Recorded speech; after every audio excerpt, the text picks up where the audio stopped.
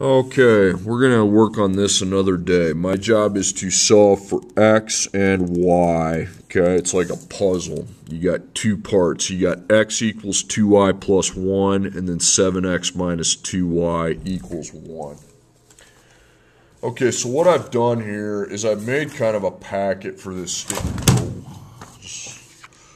made a packet. We're not going to be graphing. What we're going to be doing is using what's called the substitution method. So it gives me a step-by-step process. Since you have an isolated variable all by itself, we will be using substitution. So you box the isolated variable and circle the other side. So I box the x, circle the other side. Now we need to write the other equation. So I write that 7x Please write that as plus negative 2y. You should get rid of all minus signs with plus negatives. The variable that you box needs to be removed from the equation and replaced with a parenthesis. So the variable I box is x. So we need to remove x from the equation, replace it with the parenthesis. Blank parentheses. Now I widen my parentheses and I'm going to insert the expression from the other side of the box variable. Now you should have matching variables. Okay, so widen that parentheses. Remember the rest of the stuff. Plus negative 2y equals 1. And you're going to put what's on the other side. So x has been replaced and it's equal to 2y plus 1. So 2y plus 1 goes in here. Okay, now we can solve for the variable y because we have matching y's. So rainbows. So it's going to be 14y, and that's going to be 7. We also have the plus negative 2y equals 1. Okay, so I box my y's. Now they are on the same side, so we just go ahead and add them. 14 plus negative 2 is 12y. Now we also have a plus 7 and a 1. Now I get the y by itself. So 12y equals negative 6. Now we need to underline, and the number that's multiplied by the y is a number we're going to divide by. Okay, so the answer is not negative 2. Negative 6 divided by 12 is negative 0.5. So that's my y. Okay, now plug your solution into the bubble, which allows you to solve for the other variable. So that means take your negative 0.5, put that in for that. So we're going to take 2 times negative 0.5 and then plus 1 to that. We'll need a calculator then to do that. I can tell you the answer. The answer is actually 0, but I'll just prove it on the calculator so you can see how you're doing it. So 2 times negative 0.5 and then plus 1. That's going to be 0. So you can get one of yours to be 0. That means that's where they cross. Okay, next one. solving for x and you're solving for y.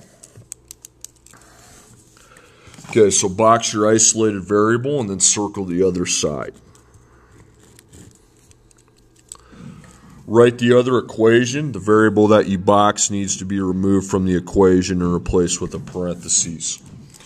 So 4x plus 2y equals 12. Okay, so the box variable, the variable that you box needs to be removed. So this time it's y in the box, so the y is what I'm going to remove. Make a parentheses equals 12. Okay, then we need to widen our parentheses. The rest of the stuff stays. And then we put what's in the bubble. So 2x plus negative 1. Okay, now I need now I have matching x's and I can solve for x. Okay, you can't solve with the x and a y. You got to manipulate it somehow so you have only x's. So 2 times 2x is 4x. 2 times negative 1 is negative 2. And I still have this first 4x here. And then we have 12. Okay, so I'm going to box my x's. They're on the same side, so just plus them. What's 4 plus 4? It's 8x. Some of you are like, well, we can just cancel them. No, you can't. They're not on the, they're on the same side. Plus negative 2 and then 12. Then I plus 2 plus 2. So I end up with 8 times x equals 14. And then we divide both sides by the x multiplier. Okay, then 14 divided by 8. Probably need a calculator for that. 1.75. Okay, so x is 1.75. Now remember it's x, so there's my first solution. Now again, to get your y, here's what y equals. So you just go into this little bubble and put 1.75. So y is equal to 2 times 1.75 minus 1. So just find what 2 times 1.75 minus 1 is. It's 2.5. So there's my other answer. The hard work's to get in the first answer, and then it's a it's pretty much a walk in the park. Okay, next one. 4x plus 3y equals 14, and then y equals 2x minus 1. Okay, so again, here's my isolated variable. Bubble the other side. Then you're going to write 4 times x plus 3 times y equals 14. So the y is the box variable, so that's a variable that needs to be removed and replaced. Now widen that parentheses because you got to fit this whole expression in there.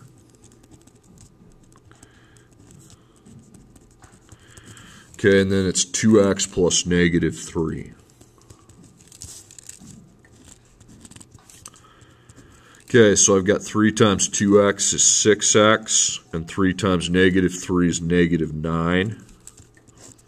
And then plus the 4x right there. And then we have 14 on the other side. Okay, so again, your x's are on the same side. So we can just go ahead and add those, and that's going to be 10x plus the negative 9 equals 14. By the way, we're solved. Put your x and y equals down there. So plus 9 plus 9. So we have 10 times x equals 23. Then divide by 10. 23 divided by 10 is 2.3, so that's our answer for x. Okay, so I get rid of the x now in the bubble, and now I know I can just put a 2.3 there.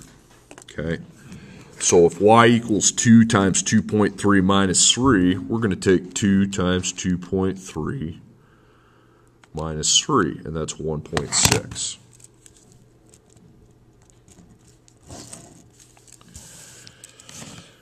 Okay, my next problem.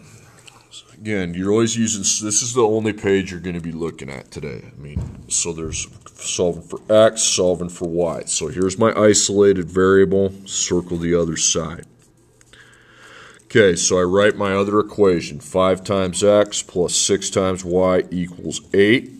And whatever variable's boxed, that's what I'm going to be removing. So 5 parentheses plus 6y equals 8. Now widen that. Okay, and x equals negative 3y plus negative 7. Again, you want to make that plus negative as you're filling out. Now I have two matching y's. As long, it doesn't matter what they are, what the variables are, but as long as they match, you should have either two x's or two y's. Here I have two y's. If you have an x and a y, you screwed up. 5 times negative 3y is negative 15y, and 5 times negative 7 is negative 35. And then we also have the 6y. Okay, so I boxed my y's. Again, they're on the same side, so you just plus them. That's simple. Add negative 15 plus 6. It's negative 9. So negative 9y plus negative 35 equals 8. Now I pretty much just keep rolling. Okay, so negative 9y equals 43. Okay, now I'm going to get a not very nice answer here. Now you need to round that to negative 4.78, round to the nearest hundredth. So that's my y. Okay, so I'm going to go ahead and put that in there, negative 4.78. So x is going to equal approximately negative 3 times negative 4.78 minus 7. So negative 3 times negative 4.78 minus 7.